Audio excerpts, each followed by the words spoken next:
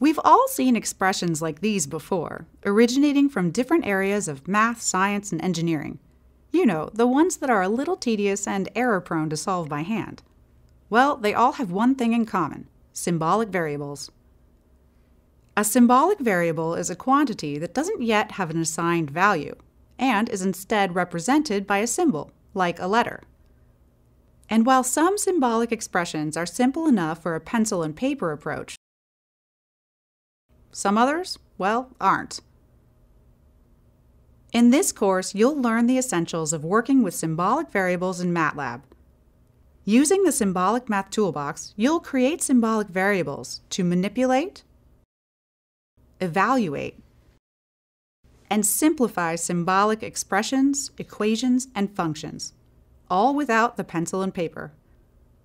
You won't need a lot of theory, but it will help to know some MATLAB